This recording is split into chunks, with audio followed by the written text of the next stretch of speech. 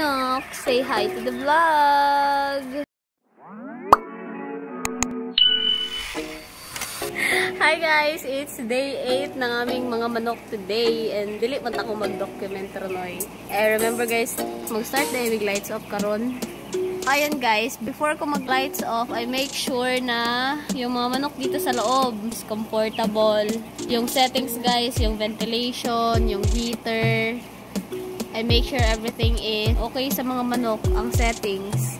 Oh, so right now, na ay one fan continuous. And then, heater namin is 31-31. Yan, okay naman. Okay naman sa loob, guys. So, lights off na mo karon is 1 hour lang. 7 p.m. to 8 p.m. lang. And then, tomorrow, lights off na po until ni siya og day 24. And then, ang water guys, kailangan din natin i-off kasi wala namang iinom yan kasi tulog yung mga manok. And then, after 1 hour, yung lights on. Then, make sure to also, huwag kalimutan yung water guys. So, ayan, dapat kakain yung mga manok after ng lights off. Hanggang day 24 yung ganyan. Hi guys, it's day 11 and update sa fly situation sa likod ng building sa may blower. Ayan yung mga pandikit namin tsaka yung mga fly attractant na nilagay namin na dami nang nahuli at napatay. So yung mga langaw na yan, hindi po yan galing sa loob ng building kundi sa labas lang na attract sila ng amoy ng ipot. Hey guys, it's day 12 and fully expanded na kami guys. Tapos may one continuous, tapos minimum ventilation dalawa Check the ipot if there's a langaw. So guys, day 12, nag-spray din kami ng adulticide para pampatay sa mga existing na konting-konting langaw na sila. And then, afternoon spray, spray sa vicinity. And then, sa net mismo. Hello guys, today is day 13 ng mga manok. And Okay naman sa loob guys. Ganun pa rin. Adjust na. Wala nang... Pinatay ko na pala yung heater. So wala nang heater totally. Hangin na lang dun sa loob. So ito check natin dito sa loob guys. Magpapalit ng... Papalit ng mga ano... Yan o. So ayan guys. Nagpalit kami ng mga pandikit. Tsaka yung mga ano... Lagay na play attractant. Kasi madami yung langaw diba noong day 11. O ayan. Yun yung play attractant guys. Napaka-effective talaga niyan. As in patay talaga yung langaw. Ayan yung mga ipapalit natin. Wala pa yung mga langaw. Lalagyan pa yan ng pandikit. Guys, yung mga sisi o mga manok na mga mahina, maliliit, tapos yung may mga pilay, sineseparate namin yun sila, nilalagay namin yun sila sa isang pen, nilalagyan ng sariling pagkain tsaka tubig. Para hindi na nila kailan makipagsabayan dun sa mga manok na walang problema sa katawan. Tapos nag-spray din kami ngayon ng larvicide sa loob guys. Hanggang bukas yan, day 14. Ang bilis ng araw. Hi guys. Good afternoon. Today is day 14 ng aming mga manok. And buhato na mo ron is kuha mi og timbang sa mga manok ang day 14 nila. Sa mga timbang is day day 4, day 7, 10, 14, 18, 21, 25, and 28. So right now, naday tayo 2 fans. Ayan, kita nyo. Nanatay 2 fans na continuous So, dili na siya pwedeng mababa. Dagdagan na lang na siya. Everyday, nag-adjust ng gyapon ng hangin uh, until sa harvest, guys. Because everyday, nagkadagkan po ang ilahang ipot. So, nagkakuha ng ammonia sa sulod. So, kinalan siya hangin. Regards to langaw, guys, day 12, nag-spray me og adulticide because na namin nakita sa mga ila, sa ilalom nga mga langaw but dili gyud as in dagkan dili dagkan gyud pero nag-spray me para lang to prevent nga mas madagkan pa sila. And then day 13 and then kanina is nag-spray me og para sa larva. So in case katong mga langaw nga mong gisprayhan is nakaitlog to sa ilalom. So at least diba naka-spray me og larvicide sa ilalom. So aside sa namatay nitong mga adult guys is mamatay sa lang larva nila. So wala na sila time um, evolve. Paano mo na siya mong ginabuhat dari sa sulod dapat dili na ito pasagdan sa sulod hello good morning nooks saan kayo ng madami Hi guys, good morning. Today is day 18 and currently meron na meron kaming 3 fans continuous and also na nami harang guys dala sa likod. Sa harap din, ato pa ng day 12 update sa mga manok. Kapit na ni sila mag 1 kilo. Siguro mga day 21, 1 kilo na ni sila kapin. Days are so fast kapag ka namin manok. As in, hindi ko mabore basta namin manok. Pero kapag wala yung manok guys, as dugay kayong mga adlaw, mga malipay chukay ko grabe manok. And update guys sa flight. Dungaga na mo ng mga pandikit. Kay medyo dago-dago naman sila. And with regards to the outside, oh my gosh, outside situation guys, flies. Masyadong lang ngayon. Continuous naman yung spraying namin every morning and afternoon. So, mamaya, mag-spray sila Kuya Ryan sa sulod. O, larvicide guys. Kinalang ka naman patyon mga langaw. As soon as possible.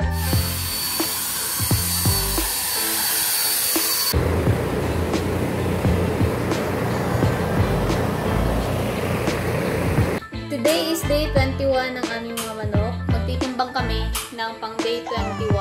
So, I think yung mga manok namin is mga nasa 1 kilo na mahigit.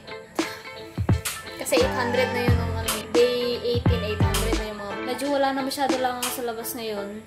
Kasi yung mga nakaraang araw, yung sa una load talaga, medyo madaming langaw. Hindi galing sa loob, kundi sa labas. Gawa ng...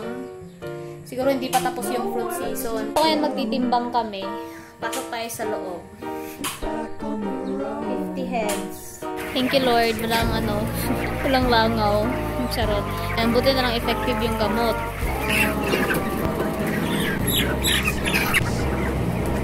Ayan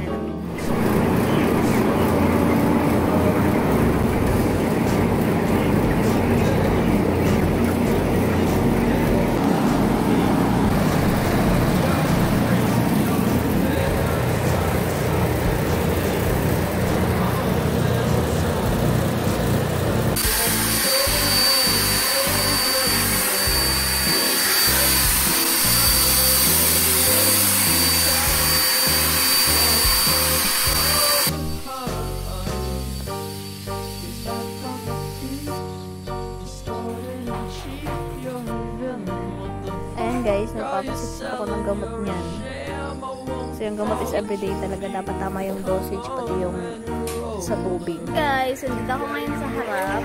Nag-check ako ng mga manok. Kailangan talaga yung movement natin dito sa loob is very slow lang.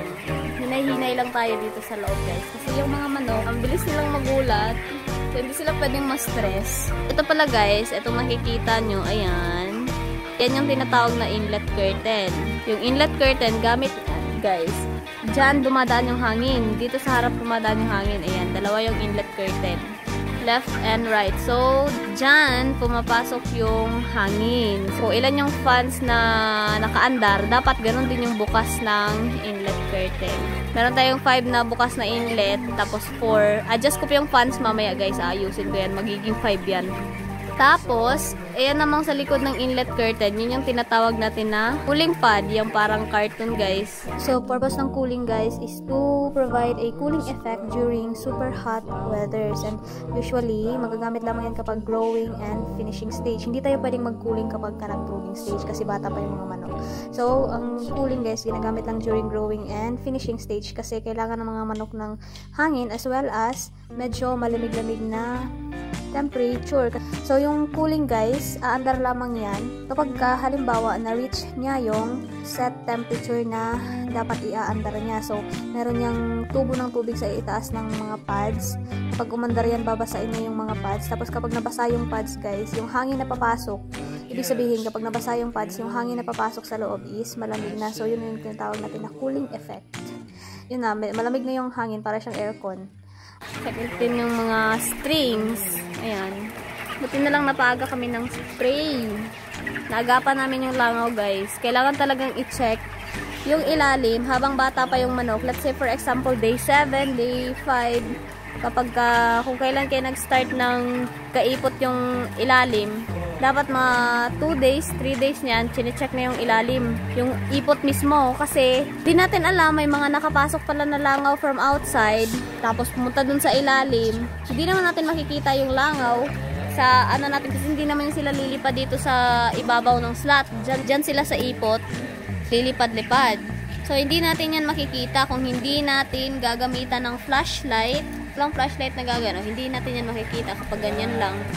Kailangan talaga i-check yung ilalim guys.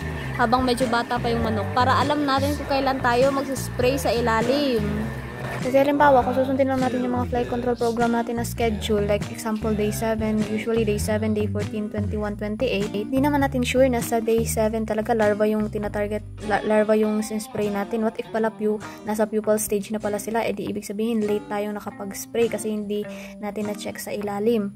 So, mangyayari, hindi rin magiging effective yung gamot kasi pang larva lang yun tapos yung natamaan sa pupal stage na ng mga ano, palangaw na sila. Tapos, ilang days, masashock ka na lang sobrang dami ng langaw. Kaya, kailangan talaga always i-check yung ipot guys para alam natin kung kailan tayo mag-spray, kung kapag ka yung gamot na ginagamit natin is effective ba, nakakapatay ba ng larva o kaya ng adult. Also guys, spray namin dito sa loob para hindi maging sobrang stressful sa mga manok. Ginagawa namin, kung napapansin nyo may division dito sa loob ng building, tatlong pen. Ginagawa namin, example today, sa harap kami mag-spray, tapos tomorrow sa gitna, next day is sa likod naman. Ginagawa namin yun para di masyadong stressful sa mga manok and also para hindi madaling masira yung mga equipment na ginagamit namin pang spray. Also guys, itong net sa likod, nililinis din namin yung lalo na kapag nag-start ng growing stage yung mga manok. Kasi kung napapansin nyo, may mga puti-puti yan. Gawa kasi yan ng, pag nag-growing stage yung mga manok, nagpapalit sila ng balahibo. So, yung mga puti-puti yan, mga balahibo yan ng manok. So, nililinis yan para makalabas ng ayos yung maduming hangin na galing sa loob. Check nyo guys, day ano na tayo ngayon? Day 23 and wala naman mga langaw sa loob ng net labas ng ano blower. Wala naman langaw sa loob. Wala akong makita. Yan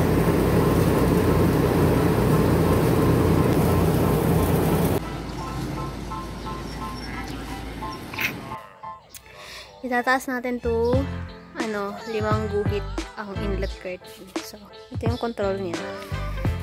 Yan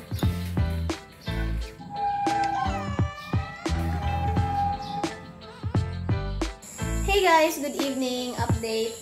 So, day 23 hanggang 9 p.m. na lang ang lights off. And then tomorrow hanggang 8 p.m. Until sa, yung pagka day 25, wala na siya totally lights off guys. Sige sila count.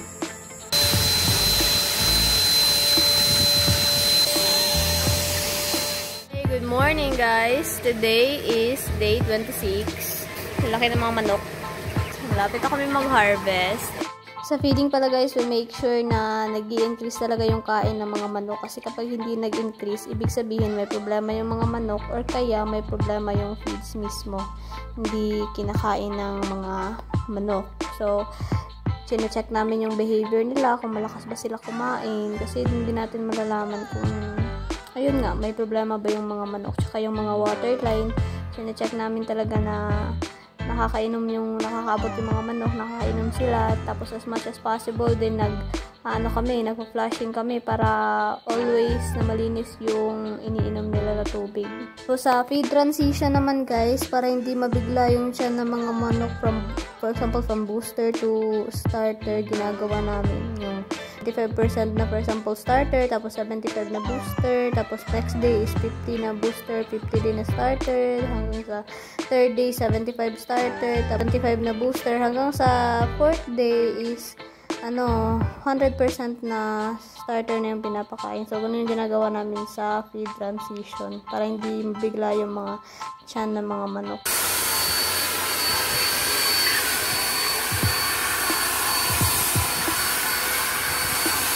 Shout out kay Ma'am Jenny ng General Emilio Aguinaldo Menro. Ayan guys, nag-inspect sila. 27th day na mga manok namin ngayon. So, nagpa-inspect kami. Before kasi kami mag-harvest, kailangan sila, kailangan muna nilang makapag-inspect guys.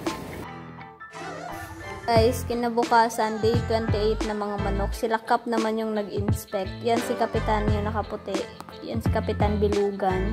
Tapos si, kasama niya si Consihal Condorin. Ayan, nag-inspect din sila. So guys, day 28, nagtimbang din kami ng mga Ah. manok. Day Hi guys, today is day 30 ng aming mga manok. And today is the start of our harvest. Ayan guys, naglalagay sila ng harang. Kaya kami naglalagay ng harang dyan kasi guys, etong mga manok dito malapit sa bintana, yan yung hinaharangan. Yan yung para harvest namin mamayang gabi. So yung mga manok na yan guys, naka-fasting na yan. Hindi na yan sila pwedeng kumain. Kaya rin kami naglalagay ng harang para yung mga hindi naman i-harvest guys, eh hindi namin sila ma-stress kapag nag-start kami ng harvest. So, at least, yung mga manok na sineparate namin for harvest, yun lang talaga yung magagalaw namin. Tapos, also, kasi yung mga hindi naman i-harvest, kailangan namin yung silang pakainin. Kaya rin kami naghaharang. Kasi, para yung mga manok na i-harvest, guys, yun na kailangan pumunta dun, dumayo dun sa kabilang ano, para lang maghanap ng pagkain. Nalalaki na sila. Mandar kanina yung cooling. Nakita nyo, yung pad medyo maitim kasi basa. Ganon din sa kabila. We're ready for harvest, guys.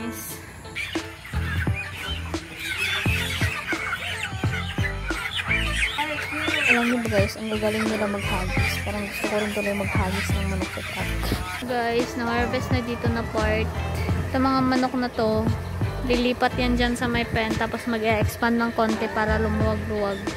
Hey guys, good morning. Today is day 31 and nakapag harvest kami nagkagabi and ito, check natin yung pinagbawasan ng manok. Tsaka mamaya, magbabaklas din kami.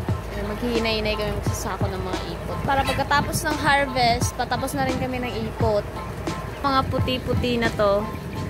Gawa to ng oh, halo to, balayibo ng manok. Tapos yung ano ng feeds. Tapos may langaw. Konti lang. Nabot sa gamot. Ulay langaw. Asan eh? Mas basa niya to una kuya? Or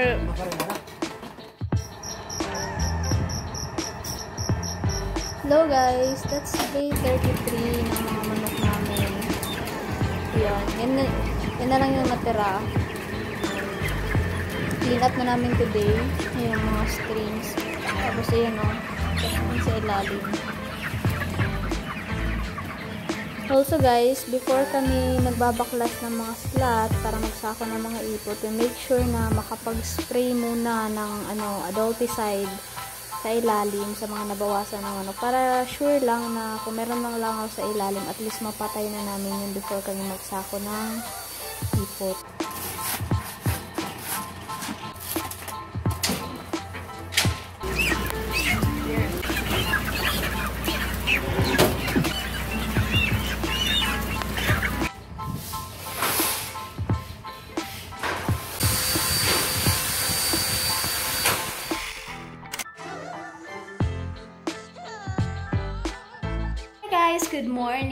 So, dito na magtatapos yung work vlog na to guys kasi sobrang haba na.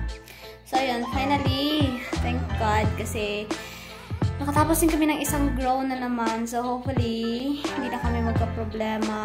Sana talaga tuloy-tuloy na tong load namin. So, ayun, sa mga nanonood ng vlogs ko, maraming maraming salamat sa inyo. Hindi niyo alam kung gaano kasaya. Char. Yun, at saka sa mga nang-subscribe and what else? Ay, oh, shout out kay Kuya Dennis ng Southwing Farm. Hi, Kuya. Salamat kayo sa pagtanaw. Hopefully, makita naman akong shout out niyo. so, ayun guys. See you on my next video. Don't forget to like and subscribe.